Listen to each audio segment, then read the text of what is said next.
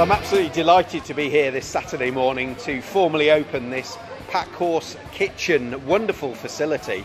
We're up here on the top floor here with uh, wonderful food outlets.